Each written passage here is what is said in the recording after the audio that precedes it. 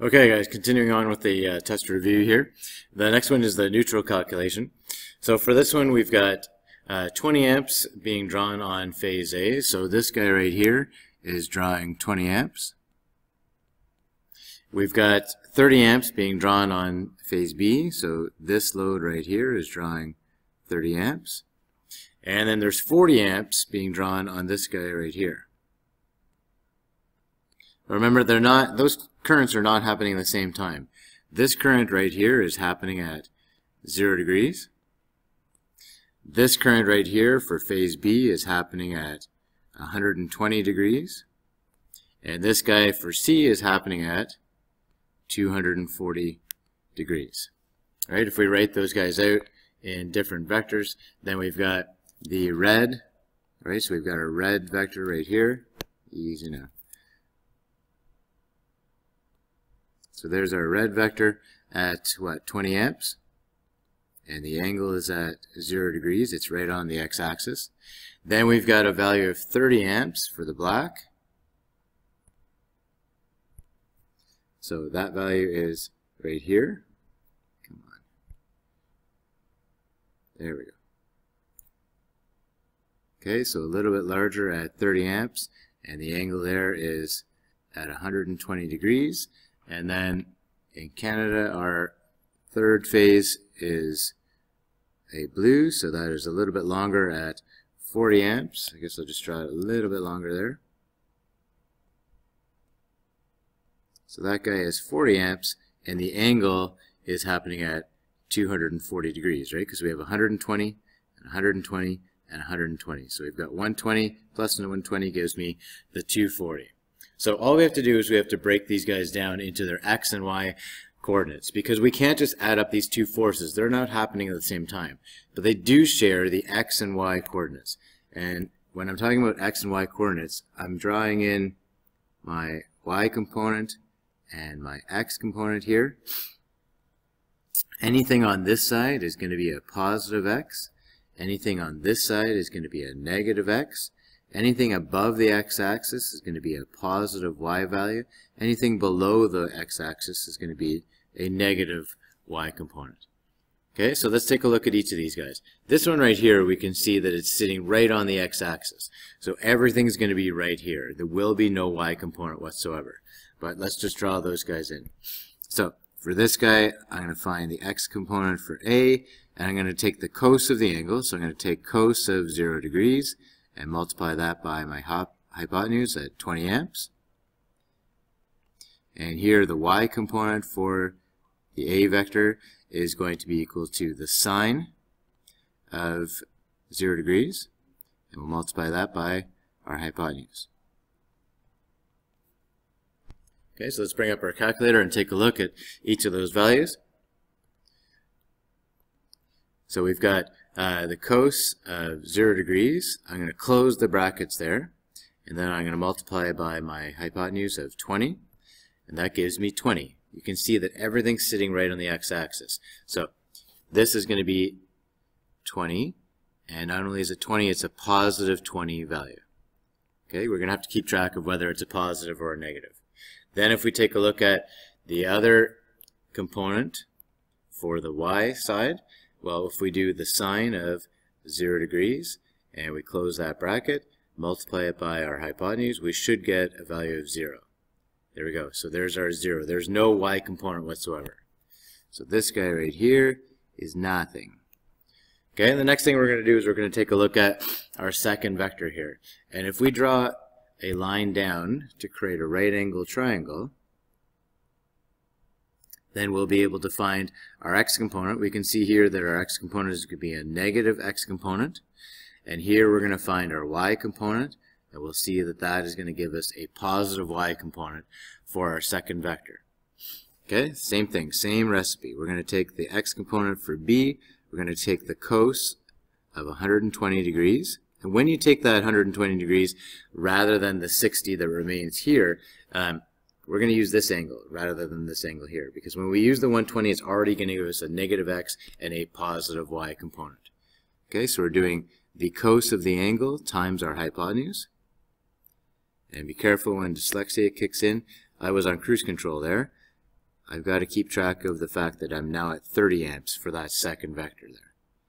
Okay, my y component for the B phase is going to be the sine of that angle, so sine of 120 degrees times my 30 amps, and we'll find that guy as well. So let's find the x component first.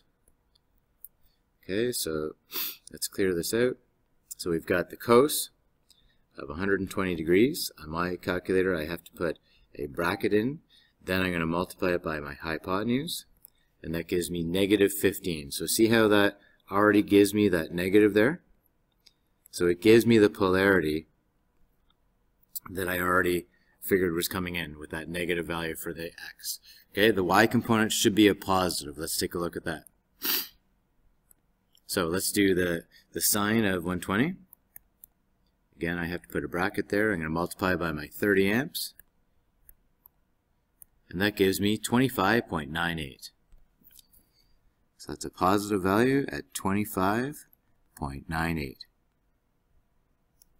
Excellent. So this value right here is negative 15. This value right here is 25.98.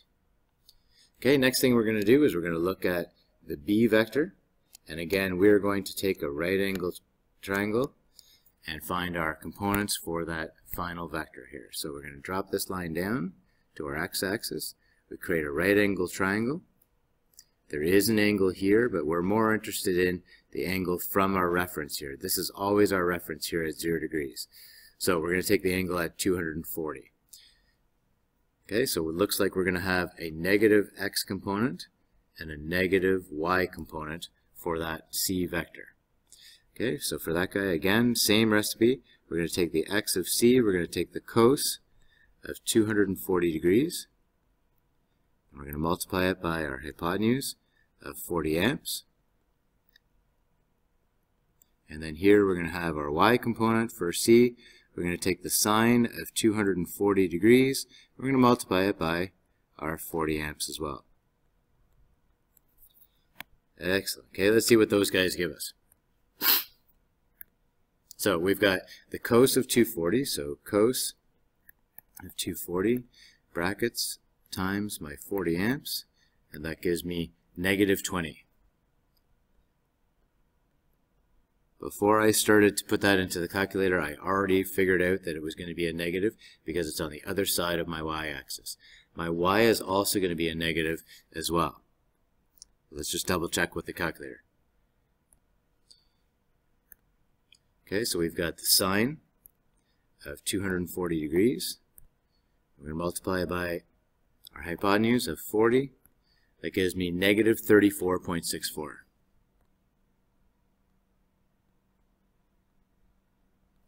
Okay, now that we've found all of those values, here I have a negative 20 and a negative 34.64. They're all sitting on the x and the y axes now. So now I have all the components for each of my vectors there, and now I can find my resultant. So the next thing we're going to do in the chart is going down this way, we're going to add them up. Okay, so here for my resultant, I'm going to do my resultant in green. Ready? So my resultant here for my x component is going to be positive 20 from here, minus 15, minus 20. Right, so we can see that these two are going to cancel out, and I'm going to be left with a negative 15.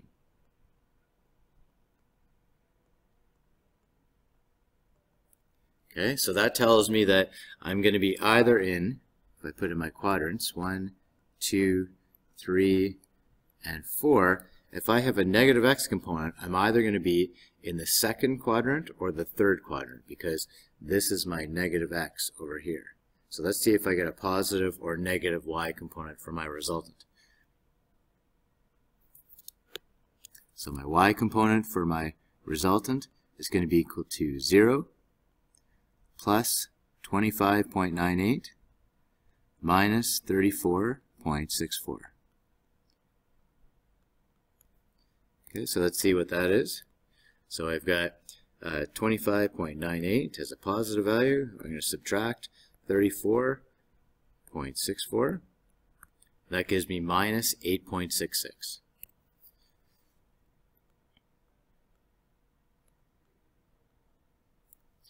Okay, so now I've got the two components for my resultant vector. If we draw out our resultant vector now, so I'm going to get rid of this, guys. So I'm going to draw in, again, my x and my y axes here. There's my y-axis. There's my x-axis. It looks like I have a value of negative 15. So I'm coming over here, negative 15. And then I've got a value of negative 8.66. So I'm going to draw this a little bit more like this. And then I'm going to go down 8.66. So this is negative 15 for my x component. My y component is negative 8.66 and my resultant is going to be right here. That's going to be my neutral current. Okay, the angle between those guys is right here. But again, when we find that angle, it's going to have to add on to the 180 degrees that we've already passed from our reference point at 0 degrees. The reason why our reference point is at zero degrees is for one, we need a reference point, uh, and for two, that's where everything's in phase. That's where our resistive component is happening. So we're always using zero as our reference, and the convention is that these vectors are going in a counterclockwise direction. So our next thing we need to do is we have our adjacent, we have our opposite, and we need to find our new resultant hypotenuse. Okay, so again, this part right here is my adjacent, this column right here is my opposite, and this guy is my total, or my hypotenuse. So my neutral current is now going to be equal to uh, negative 15 squared plus my negative 8.66 squared, and then I'm going to take the square root of those values. Now, you're going to square these values. You're going to multiply 15, negative 15 times negative 15. That's going to give you a positive value. You're going to multiply negative 8.66 times negative 8.66. That's also going to give you a positive value. So I wouldn't put those negatives in there. I would just keep them out. They're going to be positive anyways. So let's do 15 squared. Where's my squared? There we go. So 15 squared uh, plus my 8.66 squared. Now I don't think this is going to give me the right value because I don't have my brackets in there, right? So why don't we draw this out exactly the same because as soon as I start to do this, I may get the, the incorrect value. So I'm going to clear it out and I'm going to I'm going to put this in exactly how I have it written. So I'm going to take the, the second function, square root, uh, and I'm going to do double brackets actually. I'm going to put brackets around everything here. I'm going to put a bracket here and a bracket here. So I'm going to take the square root of 15 bracket squared plus bracket 8.66 squared. I'm not putting in the negatives because I know I'm going to get a positive value anyways. Uh, my square is here, and then I'm going to do another bracket there to close everything up. Then I hit equals. Okay, so my final value is 17.32. Okay, so you can see how I put this in exactly as I could, the same as I had written it out here. If you're using the other Casio calculators, you're not able to physically see how you're placing that into the calculator. So if you can't picture that in your head, purchase another calculator so you can see exactly how you've put this into your equation. Makes your life a lot easier. Our neutral current is 17.32 amps. So this value right here is 17.32. So that's telling us that on our neutral right here, we're going to have 17.32 amps flowing. We have 20 amps on A, we have 30 amps on B, we have 40 amps on C. None of these currents are happening at the same time.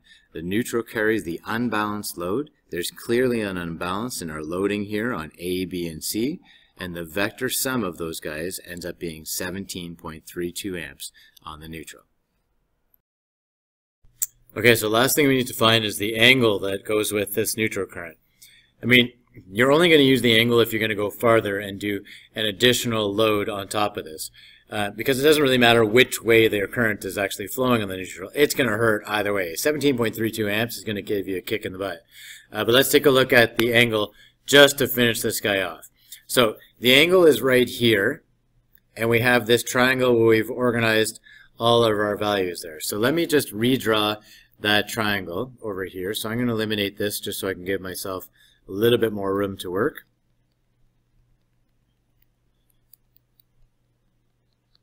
So we've got all of our values now for our neutral current. We've found that our x component is minus 15. We found that our y component was minus 8.66. And we just found our total neutral current to be 17.32. Okay, that's a positive. Hypotenuse is always a positive value. Okay, so these guys meet at 90 degrees. And at this point, we can use uh, sine, right? Right here, we have the opposite and the hypotenuse, so we could use sine. We could use cos with the adjacent and the hypotenuse, or we could use tan with the opposite and the adjacent. Any one of those guys, we can find that angle that exists right here for that neutral current. So out of those choices with sine, cos, and tan, I would probably use tan because tan is going to take in, into account the x component and the y component, right? So that's going to tell you exactly uh, the angle that's going to be in that triangle there. So let's use tan. Other ones, like I've used cos before and it gives you um, an angle, but then it's harder for me to explain how that angle adds to the 180 degrees. So let's use tan. We're going to do the inverse tan. And tan is TOA, right? So the opposite over the adjacent. So with that guy, we'd have the inverse tan of the opposite minus 8.66 over the adjacent at minus 15. And let's find that value. Okay, so what have we got? We've got uh, second function, tan, and we're going to do the ratio of minus 8.66 divided by uh, minus 15, close brackets, and that gives us 29.99999. Okay, so that's basically giving us 30 degrees as our angle. So the angle that's inside that triangle is 30 degrees. Okay, but don't go and put that angle right there because 30 degrees is in the first quadrant. Right? From here to here would be 30 degrees. But we're in, obviously, looking at this diagram, we're in the second, we're in the third quadrant here out of our four quadrants. So we just found this angle right here at 30 degrees. So what we're going to do is we're going to put that angle, come on, we're going to put that angle right there at 30 degrees. Okay, but our reference point where we started at was right here. So we had the 180 degrees from here to here, plus the 30 degrees that we just found in our triangle. So the angle for the neutral current is actually at 210 degrees. Okay, so again, one more time, because I always lose you guys here. We put all our values here on a right angle triangle with the minus 15, the minus 8.66, and the positive 17.32. Minus 15 was the adjacent, minus 8.66 was the opposite, and our 17.32 was the hypotenuse. I chose to use tan. Tan is the opposite over the adjacent. And I, when I did the inverse of that ratio, I found that my angle within this triangle was 30 degrees. I transferred that 30 degrees over to here, but I can't put that right here for my value because 30 degrees is in my first quadrant, and we've clearly shown that it's in the third quadrant here. So we started our reference point going counterclockwise. We go 90, 180, plus the 30, so 180 plus the 30 gives us our final angle of 210 degrees. Alright guys, we'll stop there. Uh, next video in the playlist will be the three-phase uh, RLC circuit.